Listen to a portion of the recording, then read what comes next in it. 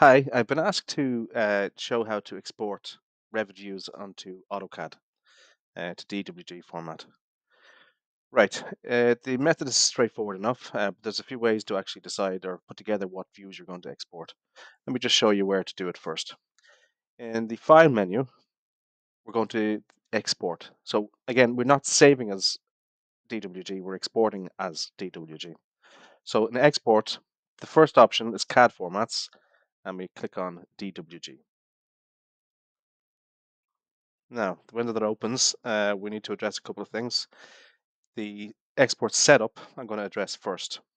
So you just click in our box here, and we have a bunch of options that we can either accept as they are or change uh, in regarding the format we're going to export as or to. First, layers. Uh, the AutoCAD layers, you can select from this list whatever you think is appropriate. Uh, maybe ISO uh, standard 13567. I'm going to select that. And yes.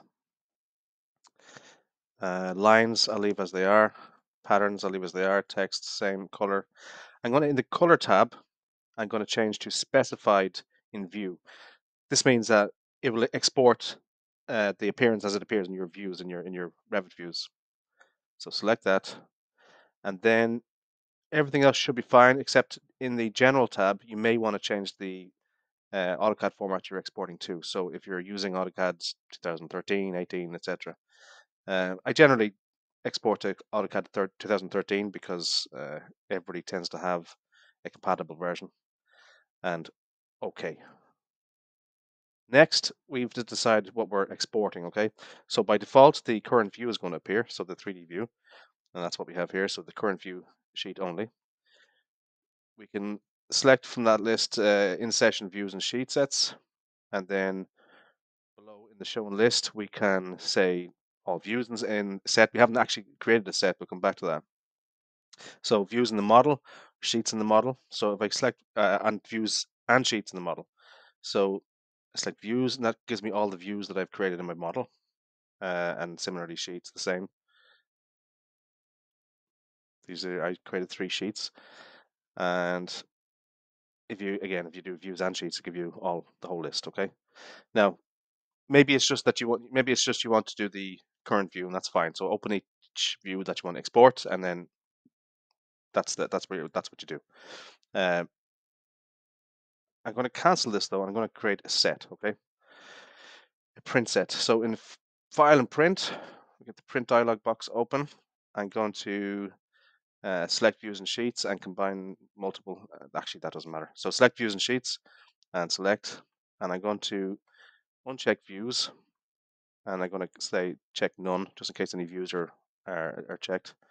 I'm going to collect, select my three sheets that I've created, and I'm going to save that as uh, sheets demo, let's say.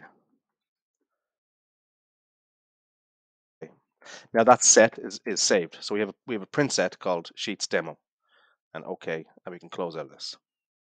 Now if I go back into my export menu, so File, Export, CAD formats, DWG, uh, this is already set up.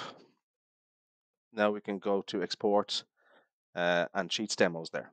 Okay, sheets demo, and that has my three sheets that I've selected in that print set ready to go. I click next.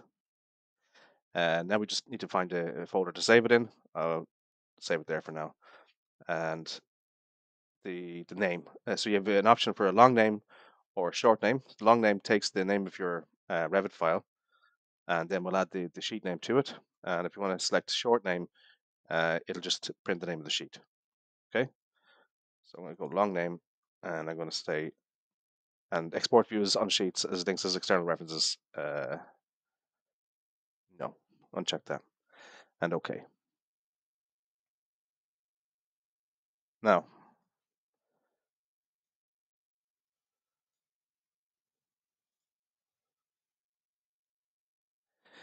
in our documents folder, our, our uh, AutoCAD files have been created, three separate files. Now, I didn't have anything on those sheets, by the way, but I'll open one just to show you anyway.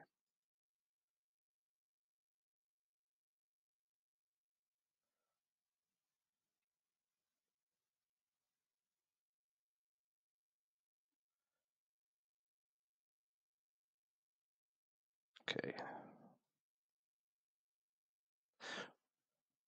While that's getting ready, okay, here it is. Okay.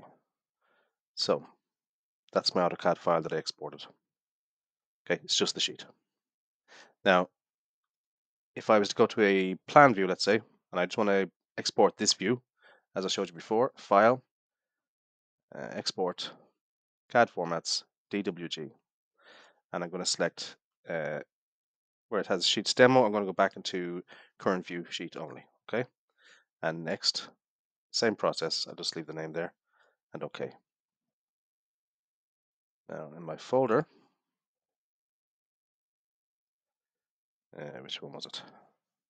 This guy here. There's our view. So it's exported everything, the, the image and the dimensions, the grids, the walls, which you can't quite see. I'll tell you what I'll do. I'll just grab that sheet, uh, that image and delete it.